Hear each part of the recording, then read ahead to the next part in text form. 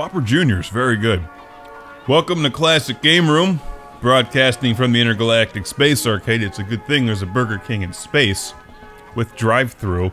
This is Big Bumpin' for the Xbox 360. And who in their right mind calls this a medium? It's like 40 ounces of Coke.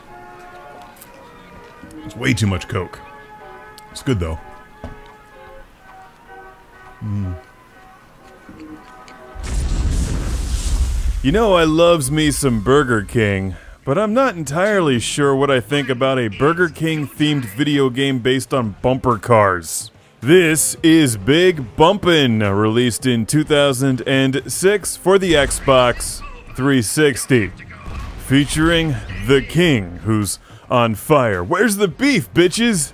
Why Burger King, of course, where you can have it your way. Provided that your way does not include a Big Mac. Big Bumpin' has a variety of different bumper car style games, my favorite of which is the hockey, where Brooke Burke just scored on herself. Way to go, Brooke. Big Bumpin' is an interesting release, one that I would expect to see on the iPad and not on the Xbox 360, although back in 2006, which is starting to sound like a long time ago, this makes complete sense. Or does it? There's loads of things which I can think about that represent Burger King. I'm not sure that bumper cars are one of them.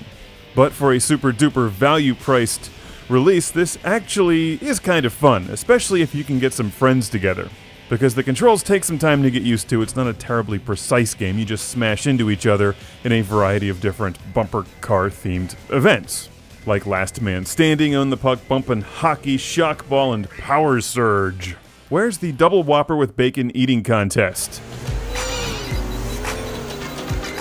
Here's one of the bumper car tournaments where you're supposed to push your opponents into spinning saws or drop them into bottomless pits. Am I supposed to expect those things when I go to Burger King?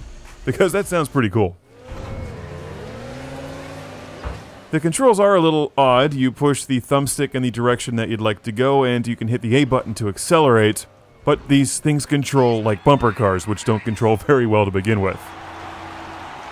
So it doesn't play as smoothly as it could, but maybe that's the whole point of the game. It's bumper cars. And everybody is high on Burger King.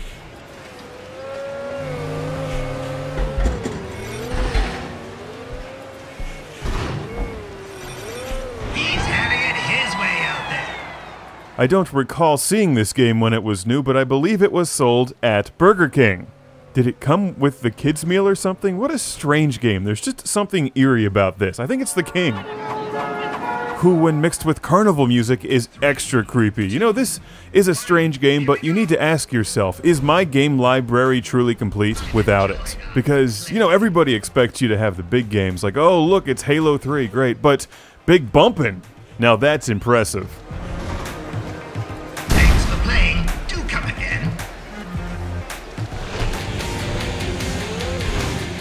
How about a big bump and thank you to our friend Billy from North Reading, Massachusetts for sending this one to the show.